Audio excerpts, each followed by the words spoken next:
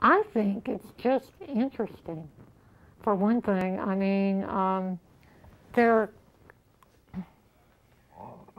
One thing that has energized me in the movement are just the variety of the people and the stories and the the backgrounds of how people got into it and what they've done.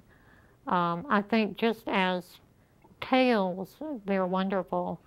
And we don't like to use the word inspirational because that's been way cheapened by overuse.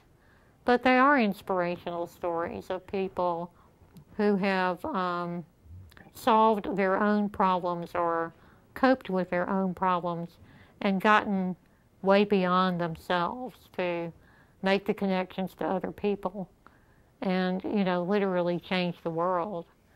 It's exciting to think that the world can be changed. And it has been changed by the movement. And I think that that can give heart to people who are working for, for peace or racial justice, economic justice, that um, people with very few resources can do a lot.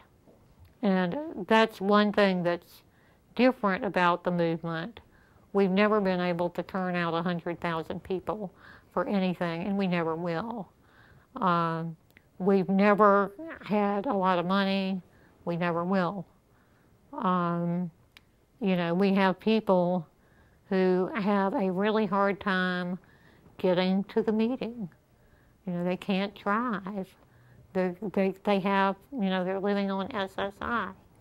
They're stuck somewhere, but yet they manage to contribute um, to changing the world, and that that ought to give heart to all the other people that feel underfunded and under resourced.